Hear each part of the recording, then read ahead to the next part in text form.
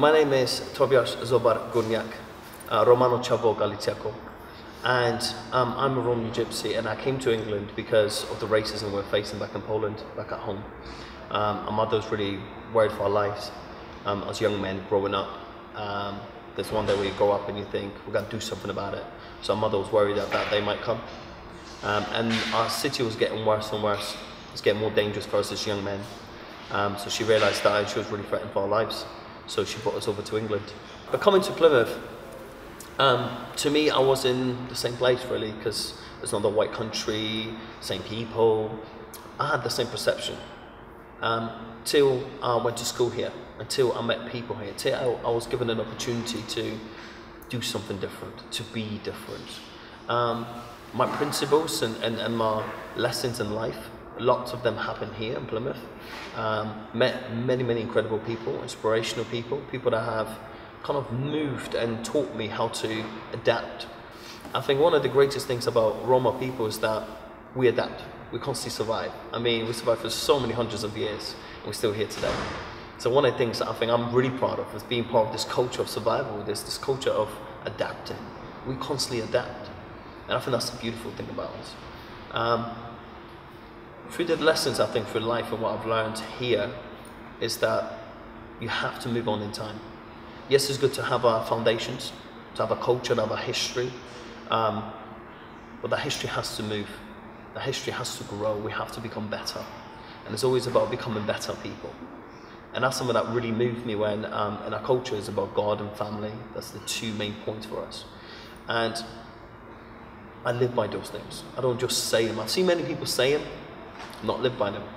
I wanted to be a person that's got these morals, got that honor, it's got that pride that I live by this. I don't just say, and I won't tell you. I want you to tell me. I want you to see me in action. And then you to tell me, actually, you live by it. Oh, thank you for recognizing. And that's something that's important to me. For people to recognize that this is real. I'm not telling you a story. I'm living this story. This is real life. I think that's something that's really important to me um, and to my family. I mean, I have six children. Um, every one of my children is amazing and different and crazy in their own little crazy way. They're all quirky, they're all got the personalities, which I love. Um, and one of the most important things I think for me is to encourage them to be strong, to be an individual, to be proud, to honor the family, to, to have that respect for one another that unity. That's, that's really important to us, that we're one. We call it Gorniaks, uh, which is my surname, which is my family surname. And many people to today, a lot of my kids' friends would be like, I want to be a Gorniak. Do you know what I mean? It becomes a thing now that we do and we are. And like, whenever we teach our kids lessons, we said, would a Gorniak do that? Would a Gorniak think like this? What would a Gorniak do in this situation? Um, one of my children once um, seen a homeless person and they were really upset about it. I said, okay, you feel upset. What are you going to do about it? Feeling something is one thing, doing something about it is another. Many people feel, but don't act. We want you to act on it. Act on your emotions, act on your feelings, act on your pain and sorrow and, and, and love and act on it. Don't just feel it. There's another thing of feeling, another thing of acting. So then, um, the next day she went home straight away on that day she went home she looked for a piggy bank the money she had and she said i want to give him something. I said yeah but is that enough? What can you do? And she just thought and thought. And then we done some research online what's available in the city and stuff. So then they went to um, the food bank and they volunteered at the food bank because they need volunteers. So my kids volunteered at the food bank. They got involved in. It's all about giving them those opportunities. And you give children the opportunities, they grow to amazing people. My son said to me one day, um, Dad, I want to make money. I said, okay, cool. What you'll do, he's six years old. I said, what, the best way I know to make money is to do something you love because you enjoy it more, you, you do more.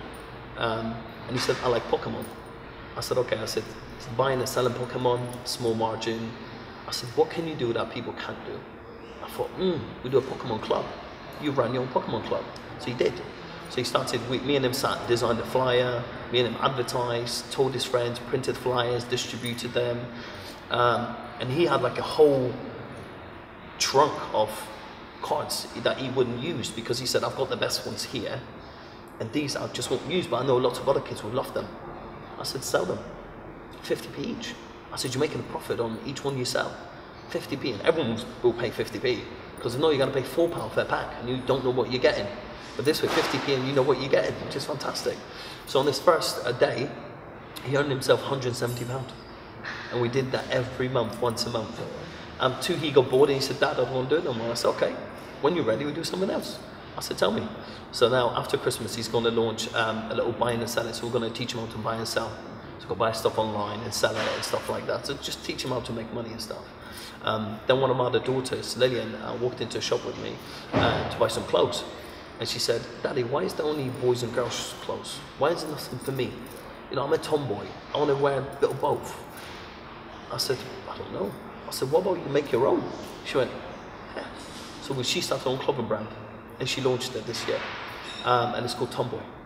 Uh, so she launched her own hoodies and I taught her how to spray the hoodies, how to put the print on there, the vinyls, the heat pressing, um, how to advertise, how to sell it, what profit she makes. The hilarious thing was those days. I said to her, I'll buy the first for you so you can show people what you created. Um, I said, but on your next ones, when you buy them, um, this is what you have to pay the man for the hoodies and then all the materials, and this is your profit. She goes, why am I paying him so much money? He's ripping me off. I said, no, that's not how it works. I said, you have to pay some money to make money. That's just how it works. But to her, she felt she was being ripped off. Why was she giving money in the first place? Um, which was brilliant. And that's what I want to instill my children, this business idea, this concept of trying and doing an opportunity. Um, and having fun with everything that we do because it's so important to have fun. Um, so with the dance element, um, it started all in my family and in my culture. It was just something that we did. Um, family danced. Some families played music, some families did other things, but our family, it was okay to dance. But it was very specific that you had to dance a certain dance style. Um, when I started hip hop, was a bit like the family was like, "Whoa, what's going on? What are they doing?" Um, but after a while, I fell in love with this culture, with this whole movement, with this whole freedom of creativity and just making it and just being in that space. It was just beautiful. I went to one of the sessions and we did some dancing together, and then we joined a team. And from the team, we just grew and grew and grew, and then I ended up starting my own thing. I started my own company and started dancing and touring and, and doing lots and lots of different things. But everything was self-taught. Everything was from the streets, from the nightclubs, from the parties, from the events, from festivals. And, and I was really lucky that I was given such an amazing opportunity. I was gifted with this dance thing that I loved. And not only that, other people seen it and appreciated it, which was really nice, which I was really lucky. So my career in dance really started off when I started in this community centre. So we always used to dance in the subway um, at the bus station. Um, not very clean place, but um, it was a place to dance. There was no rain. It, it, was slippery, sort of enough for us to dance on. Um, so we used to train there and dance there. And then one day I went to this youth club. One of my friends said, "Come with me to the youth club." So I went there, and they had a nice space. So I, I just went there every week then to the youth club just to dance, just to practice. And then the, one of the youth workers said, "Would you mind teaching the kids? And we'll give you free space." I was like, brilliant. I'm always dying for space. And in England, it always rains, always bad weather, so we don't get much sunshine. So I was really, really, really excited for that. So then we started teaching, and then another lady came in from another youth club just to have a look. And she went, "Why would you come to my youth club and teach?" And I'll pay you. I was like, "Yeah, I'm getting paid. I'm not going to say no." Um, so I got really excited, and that's just how it built and built and built. I did good seven to eight years work for free, just to prove people what I can do and who I am and what I deliver. And, and lots of times it's hard because I have to prove so much more. Always have to prove so much more because of where I come from, because of my skin color, because of the way I dress, because of the culture I'm representing, which is hip hop. People think it's quite negative and drugs and violence. And but if they had just understood the culture, not just the music genre, or just the kind of commercial genre of it, if people just understood what it stands for and what, what each person brings to it, because each person brings it up. Um, but it took me time to prove it to people. It, it, took time to show people what I can do and how I do it, and, and for people to build that trust. Um, but I think now I'm in an amazing situation where I can just walk in anywhere and people go, oh my God, it's Toby J. And it's so fantastic. I can walk into any school in the city or in a country and someone will know my work which is beautiful, which allows me so much more easy access to work and help people and to spread the positive stuff about hip hop. And I think the great thing about dance is this unique communication with human beings and nothing other can do than dance. Dance got this little thing, and it's just unexplainable. It's every one of us can dance. Every one of us in our hearts got this rhythm, and every rhythm is different. Everyone's got their own little rhythms, little patterns, how you feel and listen and hear and express dance. And lots of people, I think, always look at me and go, "Oh my God, I can't do what he can do, so I'm not a dancer." But every person can dance. Dance is movement. It's being able to move. So any shape or form, just head movements, shoulder movements, just even fingers. It's just that's all dancing. But lots of people look at professionals and think, oh, that's why that's real dancing. But to me, when I work with people, I say, no, discover your dance. Don't look at mine, be like me. I don't want millions of mini me's. I want millions of just unique individuals. Because that is what makes dance kind of really incredible, really, really beautiful. When you see 20 dancers trained the same, but none of them are the same.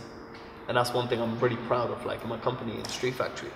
I have so many dancers that I've trained, not one of them is the same. And I love that, that every one of them's got their individuality, their personality, their quirkiness, their craziness about them. Um, it's beautiful. And it's really nice for me, so when other people come in and see it and they go, none of your dancers are the same. They, they expect us when you run a dance school, do something, you know, everyone is pristine, everyone's the same and everyone fits in and everyone, but in my place, nobody's the same. My job is to discover you, show you who you are so then you can show that to the world um, it's about giving you that platform to do so. I think that's really, um, that's why I love dance. I just love dance because it gave me everything I have today. I wouldn't have my family, I wouldn't have my home, I wouldn't have my business, I wouldn't live the life I live today. Um, and I wouldn't be the person I am today without dance. So I'm really grateful to dance and grateful to hip hop for having an opportunity to be where.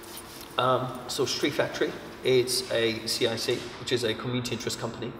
Uh, which is made not for profit. So all the money we earn is invested back in the business. Um, this is where I give back. I've realized that I could send money to other countries and help other people just by donating a little bit here, a little bit there. But I realized I can do a lot more at home. And I've probably got people that are starving or hungry at home, on my doorstep. People that can actually help. People that can do something. People that can inspire, motivate, and, and, and do something. So I think with the business is that me and my wife created this whole thing together. Um, and she is like amazing. What she does for me and for the company and how she works so hard for everything that we do today, it is just amazing.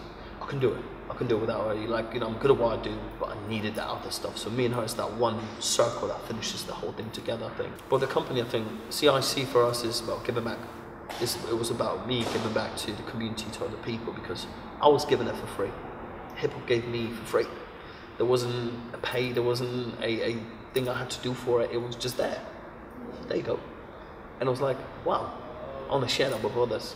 I want to give others the opportunity. By having a CIC, I get to do so, which all my staff here, all my people who came from the programs, came from the roots, came through Street Factory, now we'll be teachers, educators, we'll be traveling the country, traveling the world because of this.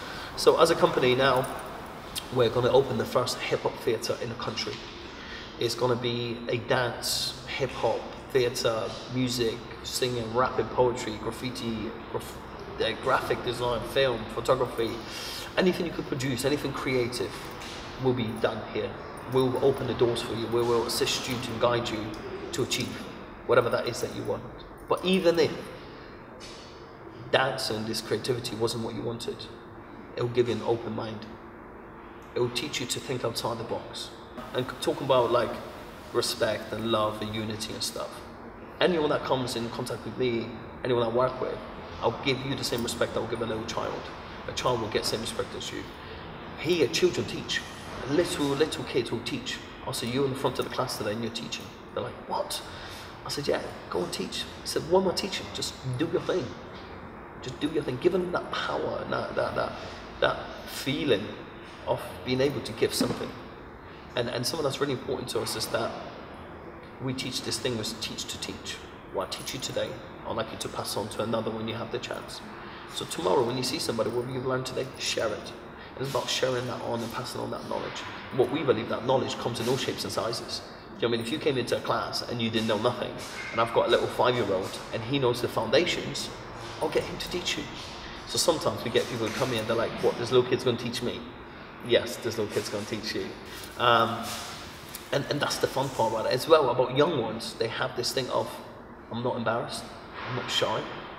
And that's beautiful because we as older people, we are shy, we're embarrassed, and we're conscious. Like everyone's watching, everyone's around me, do you know what I mean? But with little ones, they just don't care. They just go nuts and have the best time. So lots of times we teach the, we get the little ones to teach the big ones that. Go back to being a kid again. Because we all are kids. We all want to see ourselves as adults and we've got responsibilities and everything else. But really, we're all just big kids. So in this space at the minute, we've been two years. Two years. But it's been two years all about the paperwork, the building, the, the, the organization, the partners, um, planning permission, designs. I mean, just all of that, two years. And I have six months now to put the money together. And in the last um, 12 months, we've won like 20 or 30 awards all our work, which is beautiful. It's beautiful that people now recognize what we do because it's kind of the perfect time with the build and everything else and all the support and everything else we need. Um, it's kind of fallen into the right place. I believe it's just meant to be. It's just, that's the way I live my life. You know, if I'm meant to meet you, there, there's a reason why we met. And that's what I truly believe. Any person I work with, I think there's a reason for it. There's a reason why I'm just here at the minute at your journey and you're here at my journey where this just elevates both of us and then we both continue our journeys, um, which is beautiful, which I think is, is really, really nice. Um, and I've been blessed in many, many journeys like that and I've learned so much from so many people by meeting them. Um, for this young man who came to me and he rang me up, he said, Hi Toby, I'm getting married. Um, I would like you to teach me to dance so I can dance for my wife, so I can show I can dance. I was like, dude, brilliant, sounds fantastic. I do this all the time. This is what I charge. Da da da. He went, oh, couldn't, couldn't afford it right on top of the wedding. And I was like, cool, what, what are you thinking? He goes, then we had more of a chat. He said, I'm blind. I went, what? So I'm thinking in my head, how would I teach you? Usually people watch me and they copy. And he said, you know, you can teach me, you know, you can touch me and stuff. I said, dude, I ain't going touching you and stuff like that, do you know I mean? And then we had a little laugh and stuff. But he had a great character, great personality. I said, you know what, hold on, let me call you back. spoke to my wife. I said, babes, this is happening and this can we fit it in? Because I had a really busy timetable. She said, yes, you can. You've got that one day. And I had that one day a week I could give him. And I think we worked for like 15 weeks. And then what happened was when he came in, I thought, what a great experience for me as a teacher to learn to work with someone who's blind. But what experience for my children at Street Factory to not be afraid of people with disabilities, to accept it, help it, and be aware of it, and know how to work with them, which is really important. Because lots of young children never know because, like, what do you say? How do you say it? What do you do? It's all these questions. And what was beautiful with Mike as a street factory, I said, just ask. Just be. You're kids, you're only learning. I'm learning. I said, I don't know everything, but I'm learning constantly. So this was an amazing experience. So at the end of the whole thing, two of my dancers decided to get involved and they danced with him. So they done, they done a routine. So on the day we went to the wedding, he said, ladies and gents, you know I love to dance, but I can't dance. But I've got someone who can. Put your hands together for Street Factory. So two of my dancers went in, bah, bah, bah, bah, really going crazy, like showing up. And he got, then he took the mic and went, hold on, who says I can't dance? And he dropped the mic and he walked through. We had all the steps counted and everything. So he knew four steps forward, push the boys, two steps after and everything. So he did it perfect. So he was dancing, leading the boys. So the boys are behind him. He's leading the routine. So the boys keeping up with him now. So super, super. And then at the end, he had his own little thing. So the boys moved away, and then he had to do a moonwalk backwards. But what happened was, whoever laid the tables out, they didn't move that table far enough. So we planned that he had that much space. So he's moonwalking, but he moonwalked into a table, which was perfect because everyone laughed their heads off because then everyone realized, oh yeah, he's blind. Because that split moment in time, everyone forgot that he was blind everyone just seen this dude dancing and everyone just like, wow. The stuff he did was really good. And everyone just forgot at that moment in time that this man was blind. Till he hit that table and everyone just cried with laughter. It was perfect. Um, and that was an amazing experience for me. And I think I had many, many experiences like this because of dance. I met amazing, amazing people in the world. Um, and I'm blessed that dance did it for me. And that this company that I'm building is going to give opportunity not just to me, but many, many other people. It's about bringing people up. That's our biggest, biggest motive. Lift them up. Give them the platform. Give them a chance. Because everyone deserves one. For the Roma community, uh, my dream is to become Gitana, one. All of us to have this love and respect for one another. Because a culture is built on respect, built on love what a mother and father do for the little ones, how much they sacrifice, how hard they've worked. And it's about building our communities and our lives on that. Yes, we have laws that we have to live by and rules, and but sometimes they're outdated. And it's sometimes about living now.